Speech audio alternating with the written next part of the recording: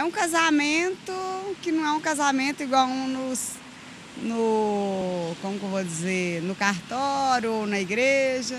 É quando duas pessoas não são casadas, mas vivem na mesma casa. E há muitos anos, não é isso? Quando um casal vive junto mais, por mais tempos, né?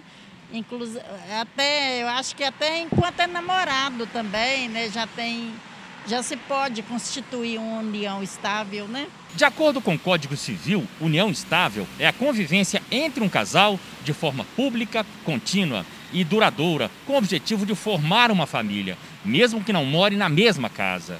O casal que deseja formalizar a união estável deve solicitar uma certidão em cartório. Foi o que fez o Vinícius comparecemos no, no cartório, é, munidos de documentos de identificação, né, RG, eu acho, e comprovante, comprovante de endereço também.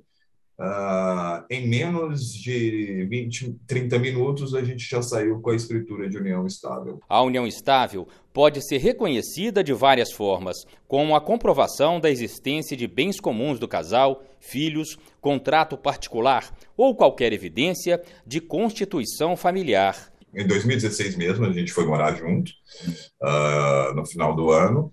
E em 2017 a gente resolveu fazer a união estável, é, justamente por algumas questões legais, por exemplo, para a inclusão dela como minha dependente, né, plano de saúde, outros benefícios, previdência privada também.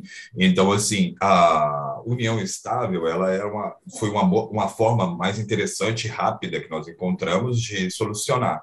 Levantamento realizado pelo Colégio Notarial do Brasil, seção de Minas Gerais, revelou que, nos oito primeiros meses do ano passado, as efetivações de uniões estáveis cresceram 27% em relação ao mesmo período de 2020. Hoje a gente sempre quer é, facilidade e rapidez nas coisas, a união estável é bem-vinda e bem prática. Eu conheço várias pessoas que são casados em união estável, que estão, têm escritura de união estável, né? E pensam em casamento no civil após alguns anos mesmo de convivência.